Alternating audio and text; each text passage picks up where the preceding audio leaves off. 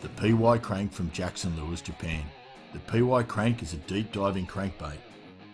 And on a fast retrieve, it has a nice tight action and gets down to its diving depth of 2 metres fast. And on a slow retrieve, it has a nice wide tail wobble. With its weight transfer system, it dives down to that depth fast and has great castability.